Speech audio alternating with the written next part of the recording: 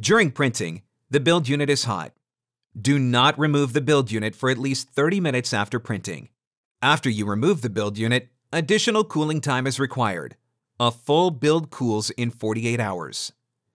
HP recommends that you wear nitrile gloves when unpacking 3D printed parts. When prompted by the printer front panel, open the door, extract the build unit, place the safety lid over it, and move it aside for additional cooling time. Insert the build unit into the processing station. Open the flaps, remove the safety lid, place it on the front of the build unit, and then close the door. Use the Build Unit app on the processing station's front panel to check that the build is ready for unpacking.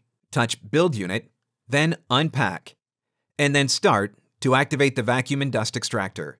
Close the hood to improve the performance of the dust extractor. Use the buttons on the platform to raise or lower the printing platform to make the unpacking process more convenient.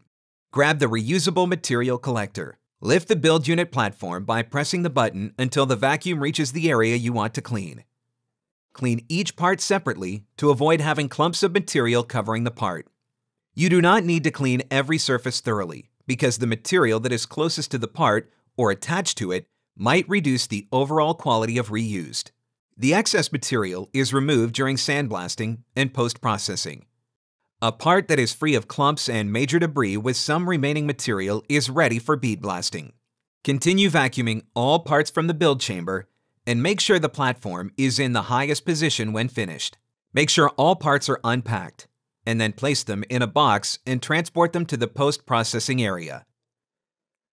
With the printing platform still at its highest position, Vacuum the empty printing platform.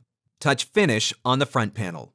For post-processing methods, contact your HP support representative to discuss solutions for your specific needs.